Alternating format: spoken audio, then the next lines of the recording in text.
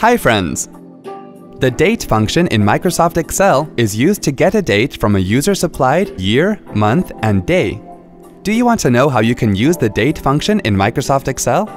Let's go ahead and see how you can do so. Open the desired Excel worksheet. In this worksheet, you can see that it contains year, month, and day in numeric form in three separate cells. By using the date function, you can return the serial numbers of a date that Excel recognizes. To do so, select the cell where you want to get the function's result. Click on the Insert Function button. In the Search for a Function box, type Date and then click on the Go button. Select Date from the list and then click on OK.